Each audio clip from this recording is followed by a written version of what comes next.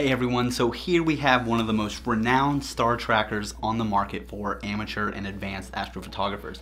This is the Star Adventurer 2i from Skywatcher.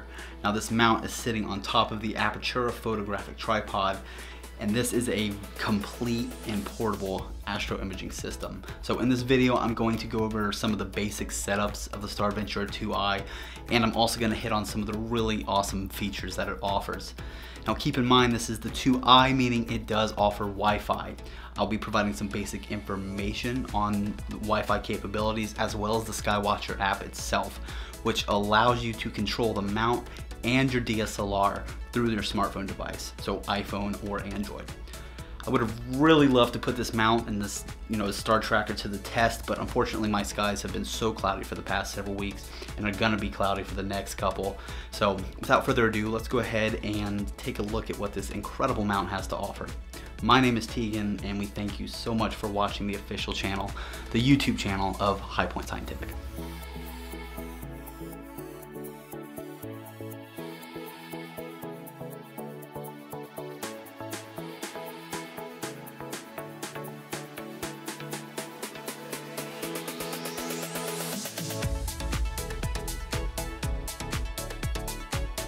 So for those of you who are unfamiliar with sky trackers, this is essentially a miniature equatorial mount that tracks the movement of the night sky via the right ascension axis. Now, as the stars and the celestial objects move across the night sky, this mount tracks this motion, which allows you to take several long exposures of these objects. The more exposure time that you collect, the more colorful and the more detailed your images will be, hands down. So with that in mind, let's see what's included within the box of the Star Adventure, and then we can get, you know, we can get started on the basic setup of this mount. Hopefully this really gives you a better understanding of how these mounts actually work. Okay, so laid out in front of me, we have every component of the Skywatcher Star Adventurer 2i, which is all included within this nice foam casing. I will give you all a closer look at each of these items while I discuss their basic functions. Okay, so first we have the mount base, which attaches directly to the tripod head and is actually used to hold the mount head in place. It is also used for adjusting your latitude for polar alignment. Next, we have the mount head itself, which is the star tracker. It contains the RA motor, it contains the batteries, and this is going to be the piece of equipment that will drive your camera and your telescope or your lens across the night sky. Here we have two different style of camera or scope mounts. The first acts as a declination axis for heavier scopes or telephoto lenses for deep space astrophotography. When you use this, you want to make sure that you use the counterweights. Next, we have the smaller camera attachment, which requires no balancing. This is used if you want to take time lapses of the Milky Way or just Milky Way shots with a DSLR and a wide field lens. A ball head is typically recommended if you plan on using this style mount but the Skywatcher Star Adventurer Pro Pack does not include a ball head. Next we have the counterweight shaft along with a 3 pound counterweight. This can actually be adjusted up and down the counterweight shaft itself to help balance your heavier equipment, especially if you're using a DSLR, a dedicated camera with a telephoto lens, or a telescope. And here we have a simple dovetail shoe that attaches the mount head to the mount base. And finally, we have our accessories. First is the polar scope illuminator. Second is a quarter 20 thread adapter. And lastly is a standard CR2032 battery. So this is a comprehensive list of everything included within the Skywatcher Pro Pack. So now let me show you how we set it all up. So for the setup, first comes the tripod. When you're choosing a tripod, you wanna be sure that you purchase one that is very sturdy and well built. Here I'm using the Apertura carbon fiber photographic tripod. We also recommend the Skywatcher dedicated tripod for the Star Adventurer. If you already have a really nice tripod with a quarter 20 or 3 8 16th adapter, we recommend going ahead and give that a try before spending your money elsewhere. So the tripod is going to be the most crucial piece of astro imaging equipment, especially when you're using star trackers like the Star Adventurer. If you have a tripod that isn't sturdy and it's flimsy, you just may find yourself frustrated with wonky looking stars or you know, less than satisfactory results. A well manufactured tripod is crucial. So first you want to level the tripod and after leveling the tripod we need to attach the mount base to the tripod head. The central screw on the tripod head here attaches to the bottom of the Skywatcher base. Here in Cincinnati I'm at a latitude of about 39 degrees so you want to be sure to set your latitude adjustment to correspond with your location. This is extremely important for polar alignment and you can adjust this when you're ready to polar align out in the field. So if you look at the side of the mount, you will find a set of numbers and several different knobs. The knobs here on the side loosen the tension of the gears which allows you to twist the knob in the front. As you twist the knob in the front, you will see the mount head start to move up and down. Once you twist this knob, you can now match the arrow on the side here with the corresponding latitude of your exact location.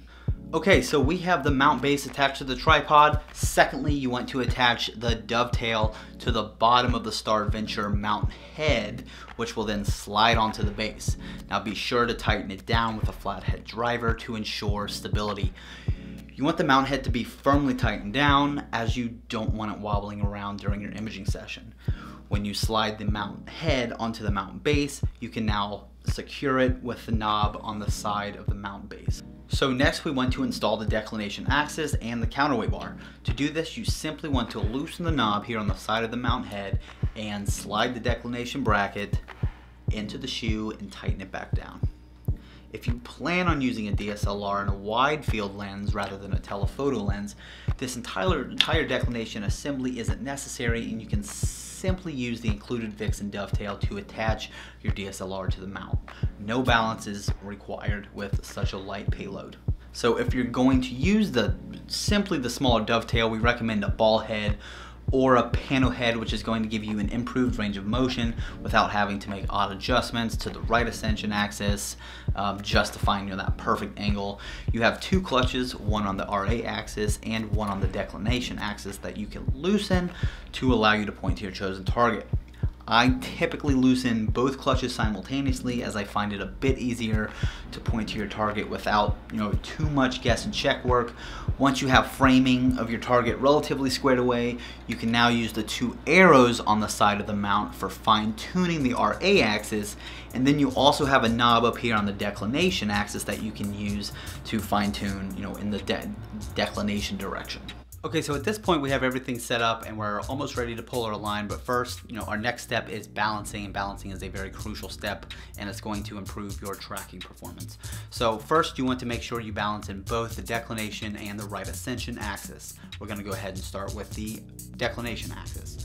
First you want to loosen the clutch on the declination axis and rotate your imaging assembly so it's parallel to the ground and you don't want it to fall one way or the other. If it's camera heavy, you want to use a a dove like a four inch dovetail like a universal dovetail. For example here I'm using the four inch Apertura universal dovetail. It has quarter 20 screws and if my if my assembly is camera heavy or lens heavy I can then make those adjustments by moving it up or down using the holes in the bottom. So once you have balance properly in the declination axis, you can return it back to its home position and tighten down the clutch. Next, we want to adjust and balance the right ascension axis. So you want to loosen the right ascension clutch, rotate your imaging assembly so that it's parallel to the ground, and you want to make sure that your assembly doesn't fall down to the counterweight side or down to your camera side. Um, if it falls to the camera side, then you want to loosen your dovetail and, or I'm sorry, you want to loosen your counterweight and adjust it up and down the counterweight shaft accordingly so that it doesn't fall to either side. Once you've done that, you can now rotate your entire imaging assembly back to the home position and tighten down the clutches. So as far as setting up goes, there's kind of a an order of operations in which I recommend you follow. You know, after you've leveled your tripod, you've attached your mount base, your mount head, and your you know scope and your camera, then you want to point due north towards Polaris as if you were going to polar align. Just get Polaris in the field of view of your polar scope for now and that'll be just fine. After you've done that, you want to loosen your right ascension clutch and your declination clutch and point to your target. Let's say you're imaging the Orion Nebula that night. Point towards the Orion Nebula take a couple snapshots, make sure it's you know close to centered in your field of view, tighten down your clutches, and then you want to polar align. I like to polar align as a last step you know, simply because the act of balancing or the act of, you know, attaching any equipment or even moving your camera and scope towards your target can alter your polar alignment a bit. So that, you know, that's kind of why I recommend it as a last step. After you've done that, then you're ready to start imaging, which brings us to our next section in this video. We're going to talk about some of the features of the Star Adventurer, some of the features of the smartphone app, as well as a basic understanding of the Wi-Fi capabilities. Okay, so on the side of the mount head, you have your dial with your different imaging modes for standard deep space astrophotography with standard sidereal tracking rates, you're going to want to turn it to the solid black star mode. You also have modes for solar tracking, lunar tracking, as well as time lapses, which is the RT and LT function. Now you can turn it, turn the dial to these modes if you you know have a standard intervalometer and you don't want to use the Wi-Fi capabilities.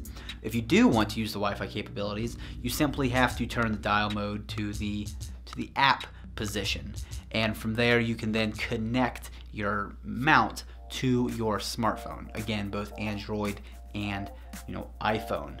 You'll, once you're ready to connect, you'll see two blinking red arrows on the opposite side of the mount head, which means you're ready to pair. You want to go into your smartphone, click on your Wi-Fi settings, and wait for the Skywatcher option to pop up. Click on it, and once it's connected, you can then go inside the app and connect your app to the mount.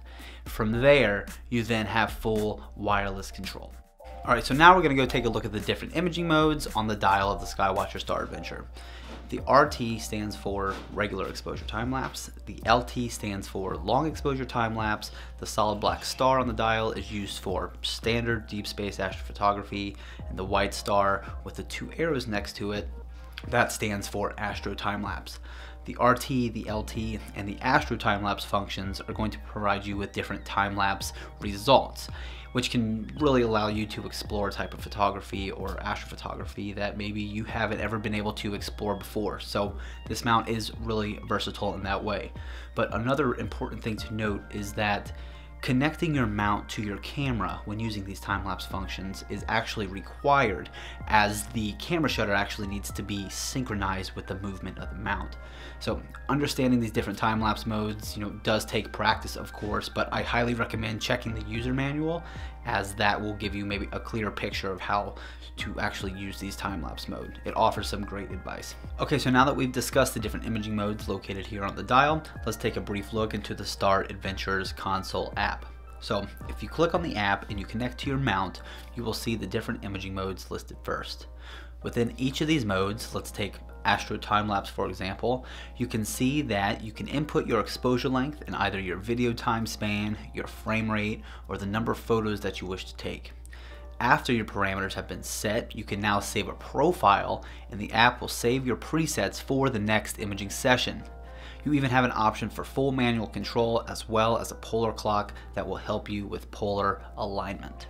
Okay, so this was the full review of this Star Adventure 2i from Skywatcher.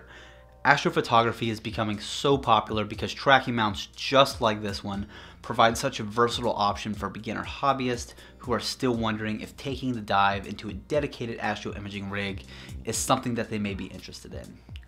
This mount really fills this gap and opens this wonderful, rewarding, and incredible hobby up to so many more enthusiasts. On top of Skywatcher's fantastic customer support, your non-commissioned product advisors here at High Point Scientific are always more than happy to help you through your astrophotography journey. We thank you so much for watching and we really hope you enjoyed.